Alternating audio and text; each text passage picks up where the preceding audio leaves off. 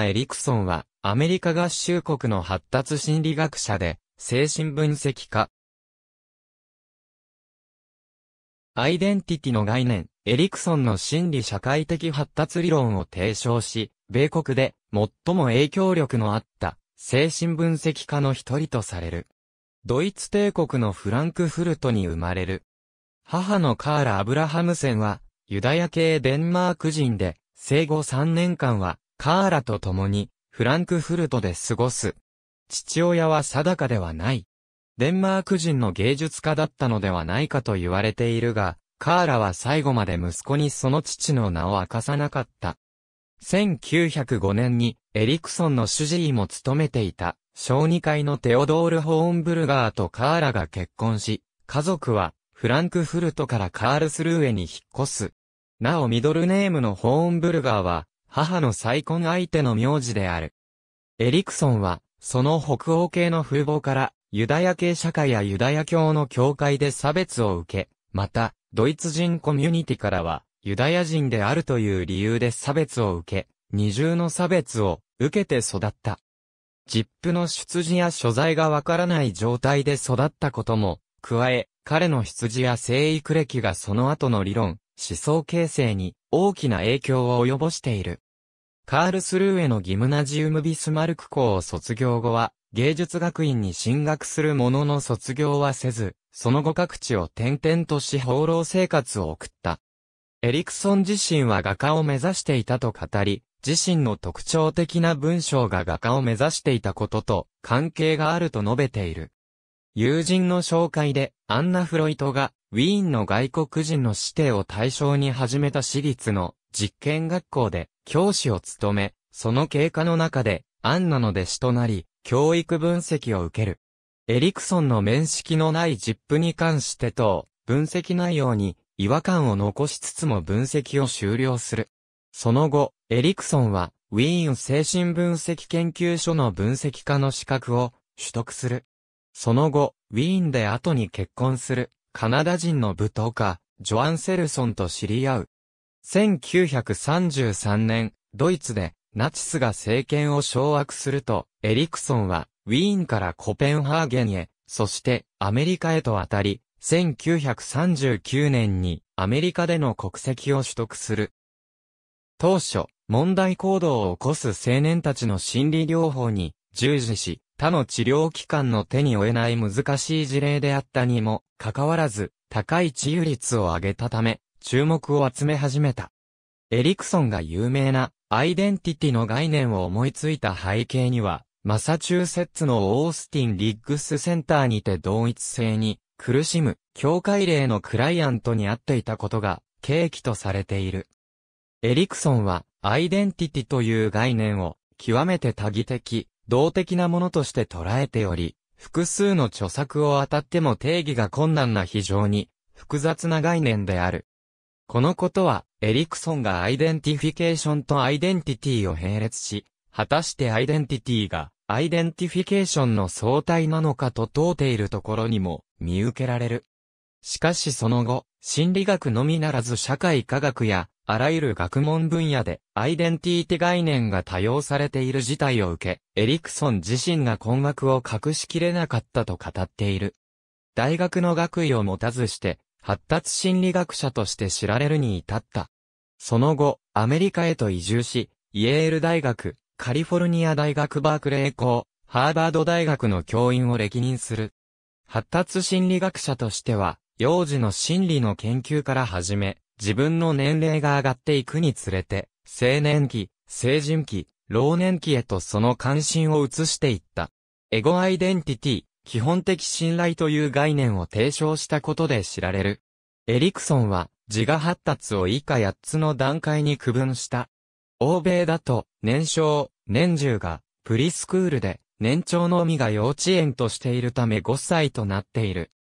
児童期の幅は大きく低学年は幼児っぽさが残っており、小学3から5年生は、ギャングエイジという仲間意識を身につける年齢であり、スポーツでは、ゴールデンエイジといって、最も伸びる時期でもある。また最近の子は、成長が早く、6年生は、思春期に入っており学級担任制が難しくなっている。6から3世の本家アメリカでは5の3の4世が主流になっており、日本でも5の4世を導入した方が良いという意見もある。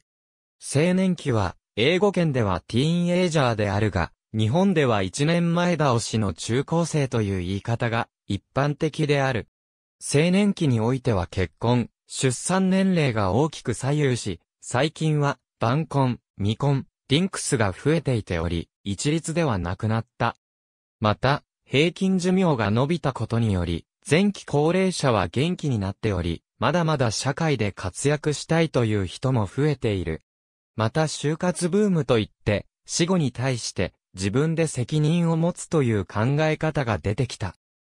これまで気まぐれと遊びであったことが、生産的行為を完遂するという目標に徐々にとって変わられる。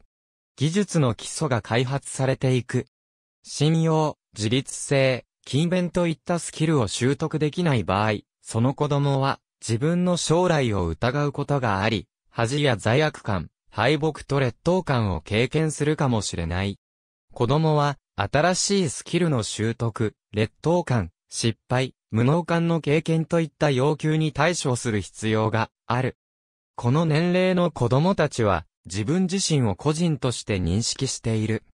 彼らは責任を持って良いことをしてまさしくやっているとして一生懸命働いている。今や彼らはより合理的に分かち合い、協力し合うことができる。加えて、この年齢層に特有の知覚的発達特性を列挙する。子供らは空間と時間の概念をより論理的で実用的な方法で把握している。彼らは因果関係、カレンダー時間をよく理解している。この段階では子供たちはより複雑なスキルを学び、そして達成することを熱望しており、それは読み書きや時間を伝えることである。彼らはまた、道徳的価値を形成する、文化的、個人的な差を認識し、個人的ニーズのほとんどを管理し、最小限の支援でグルーミングすることができる。この段階の子供らは、口答え、不従順、反抗的などにより自身の独立性を表現することがある。エリクソンは、小学生の年齢を自身の発展に欠かせないものとみなしている。理想的には、小学校は教師、親、同級生の認知を得るための多くの機会を提供し、それは例えば絵を描くこと、追加問題を解決すること、文章を書くことなど、物を生産することなどが挙げられる。子供らが成果を上げてたことで称賛されるならば、彼らはますます勤勉に頑張り、仕事が完成するまでの忍耐を覚え、喜びを持って仕事をすることによって、勤勉さを実証し始める。しかし、子供たちの努力について、嘲笑されたり処罰されたり、教師と両親の期待を満たすことができないと分かった場合、彼らは自分の能力について劣った感情を抱くこととなる。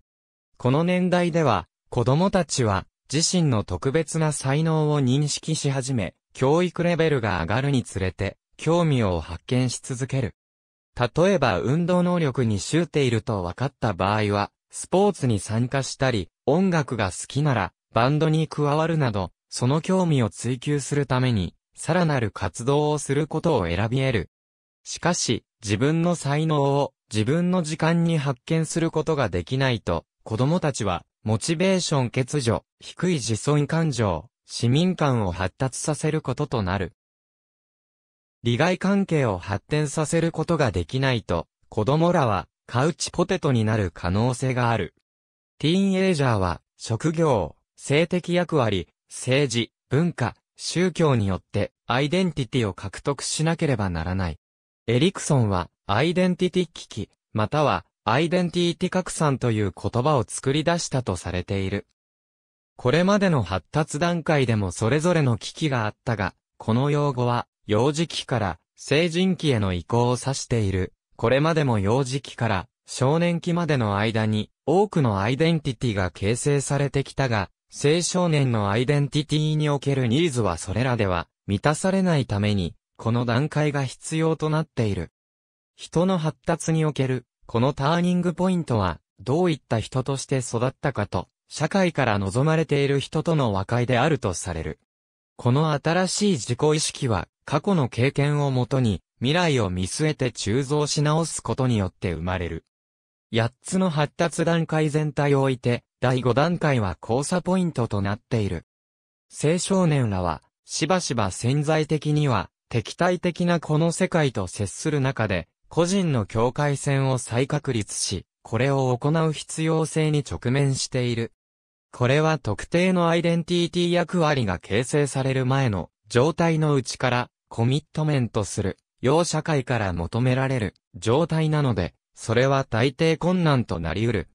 その状態はアイデンティティ困難とされるが、しかし社会は通常、青少年が自分自身を見つけるために猶予を与えるので、この状態をモラトリアムと呼ぶ。